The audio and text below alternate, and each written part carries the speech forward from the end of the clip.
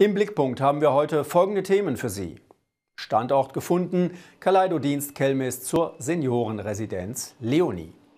Und Fahrdienst, 25 Jahre VOG Krebshilfe im Süden Ostbelgiens sowie das Wichtigste aus dem Inland im BAF-Fernsehen ab 17.45 Uhr mit stündlicher Wiederholung und jederzeit im Netz auf baf.be.